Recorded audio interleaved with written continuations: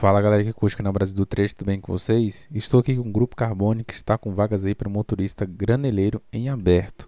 Essa vaga foi publicada no perfil oficial da empresa no Facebook e caso você queira acompanhar é só dar uma passadinha lá.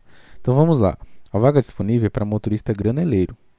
Os requisitos são habilitação categoria E, disponibilidade para viagens. A descrição das atividades são transportar ração para os integrados da agropecuária Carbone, que é o grupo aí da empresa. E o local da vaga está disponível para a Videira, em Santa Catarina. Então, se você mora em Videira, Santa Catarina ou nas proximidades, você pode participar do processo seletivo. Os interessados devem enviar o currículo atualizado para e-mail que é recrutamento@grupocarbone.com.br ou entrar em contato através do WhatsApp, que é o 49 35 33 88 87 ou pelo link que eu vou deixar na descrição, tá bom? Galera, desejo boa sorte para vocês e até o próximo vídeo.